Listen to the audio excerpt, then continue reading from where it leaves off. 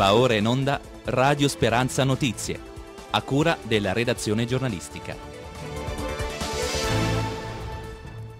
Buona giornata a tutti voi da Massimiliano Spiriticchio in studio da tutti noi di Radio Speranza in Blu, la radio della Chiesa diocesana di Pescarapenne. Oggi lunedì 17 luglio la Chiesa celebra la memoria di San Pompiglio Maria Pirrotti, religioso. Nuovo rogo, apriamo dunque con la cronaca nella discarica eh, Noce Mattei del Coggesa. Dopo le 13 di ieri una colonna di fumo si è alzata dall'impianto in uso alla società partecipata, destando non poca preoccupazione. Il rogo eh, si è sviluppato su un'area interessata dai rifiuti indifferenziati. Sul posto sono prontamente intervenuti i vigili del fuoco di Sulmona con due mezzi per contenere le fiamme ed evitare la propagazione delle stesse. Ad allertare i pompieri sono stati gli operai dell'azienda che hanno dato manforte nelle operazioni di spengimento. Accertamenti specifici si svolgeranno per quanto riguarda la natura dell'incendio e le possibili conseguenze per l'odore acre e nauseabondo che si avverte nella zona. Il Comune a tal proposito si metterà in contatto con l'Agenzia regionale per la tutela dell'ambiente. Non si esclude che il rogo possa essersi innescato per il processo di autocombustione anche se si stanno svolgendo verifiche tra l'impianto di videosorveglianza e un alpinista è stato recuperato e trasportato all'ospedale di Teramo dal soccorso alpino e speleologico abruzzese. L'uomo stava scalando la parete del vecchiaccio a quota 2385 metri sul Corno Piccolo, sul Gran Sasso, quando al secondo tiro è stato colto da un malore probabilmente a causa del gran caldo.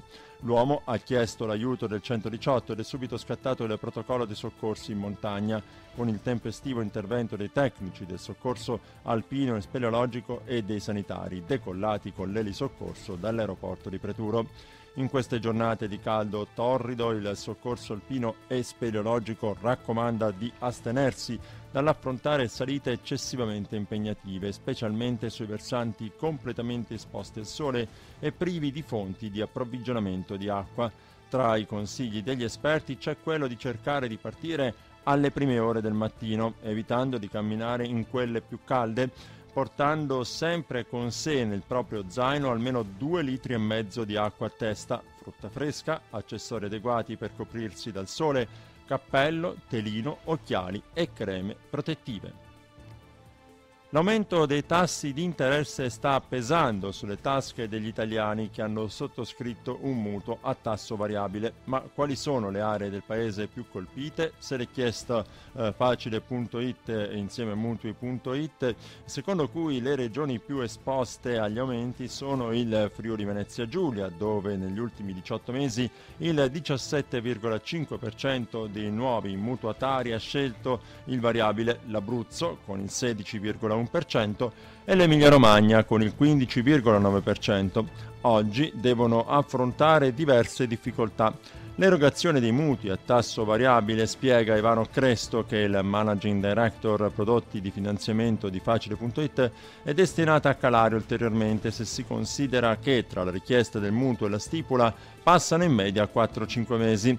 Questo significa che i mutui variabili erogati nella prima parte del 2023 sono stati richiesti nel secondo semestre 2022, quando la Banca Centrale Europea aveva appena iniziato ad aumentare i tassi. Oggi la richiesta di variabili è ai minimi, inferiore al 2% del totale, e l'effetto sui mutui erogati sarà molto evidente nei prossimi mesi. Torna l'iniziativa dall'Etna al Gran Sasso a darne notizie proprio la Anneo APS, dall'Associazione di Promozione Sociale dall'Etna al Gran Sasso, una decisione salutata nella comunità di Città Sant'Angelo con grande, grande entusiasmo anche per la sua valenza turistica e mediatica.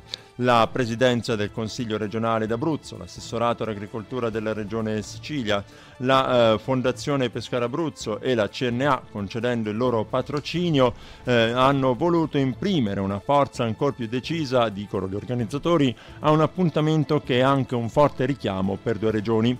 Dal 15 al 23 luglio il centro storico di Città Sant'Angelo eh, vive nove giorni ricchi di iniziative con un cartellone che dà spazio a musica folk, pop e classica. Al centro però resta il momento enogastronomico che è un po' il segreto del successo di questa festa secondo gli organizzatori perché dicono sa coniugare perfettamente la tradizione siciliana e quella abruzzese.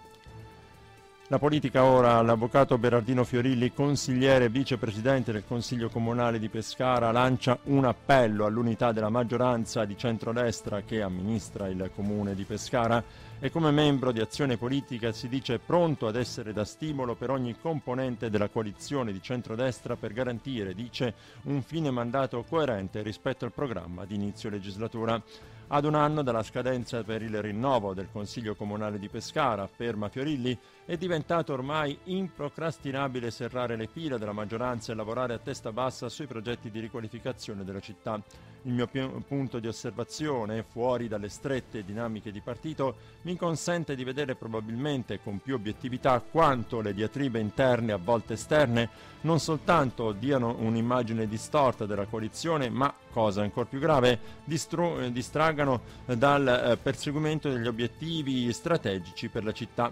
La trappola dell'inseguimento del consenso, il rimodulare obiettivi, scadenze e priorità per assecondare quel comitato politico o quella eh, eh, categoria rischiano di rimettere in discussione ogni volta l'azione di governo.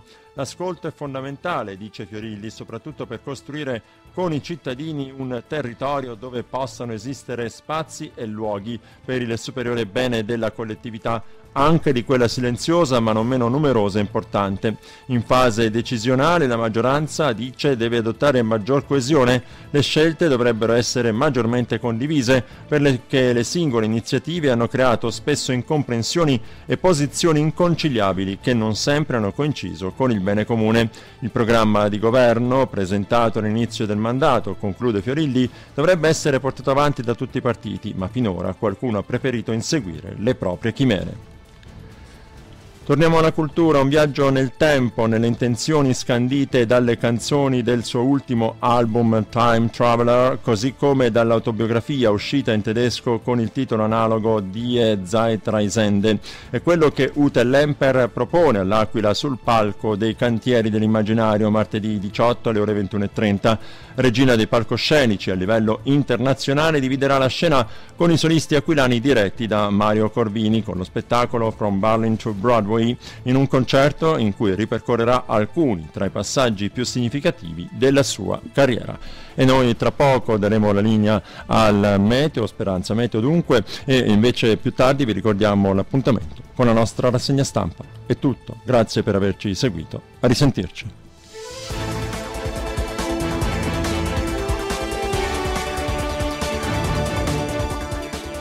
Abbiamo trasmesso Radio Speranza Notizie a cura della redazione giornalistica.